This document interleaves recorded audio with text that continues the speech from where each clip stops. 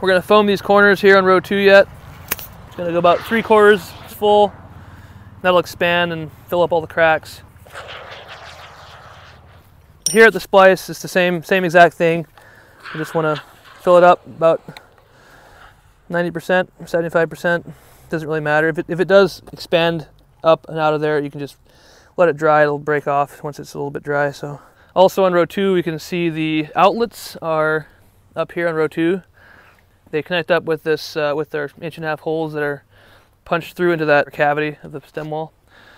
So that's row two. We're gonna get um, just wood glue this row next, and then we'll keep going with three and and um, on up.